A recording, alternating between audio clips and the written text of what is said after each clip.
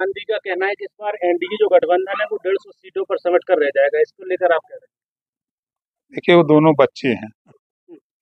हम उनके चच्चा हैं। ठीक है ना? एक भी गाँव में बता दें कि जिस बूथ पर गए हों, हम जिला गिना दें, गाँव गिना दें, बूथ गिना दें, हम ऐसे नहीं बोलते हैं। आज देश की सत्ता की पार्टी ओम प्रकाश राजभर भारतीय समाज पार्टी से समझौता की है। समाजवादी पार्टी समझौता की तो कहीं ना कहीं कुछ है तब ना। बहुत सी पार्टियाँ घूम रही हैं देश में।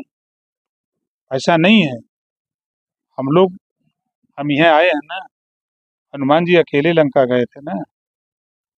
यहाँ कितने हनुमान हैं। सोशल मीडिया पे वीडियो वायरल हो रहा है बता रहे नहीं नहीं देखिए विपक्ष के पास कोई काम नहीं है।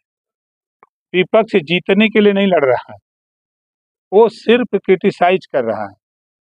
प्रत्याशी हाथ नहीं जोड़ेगा घुटना नहीं टेकेगा, वोट नहीं मांगेगा तो कौन उसको वोट देगा? अगर ऐठन रख के जाए, कोई वोट मांगे, अरे, वोट दे देना। तो वोट देगा दौड़ा लेगा घरवा से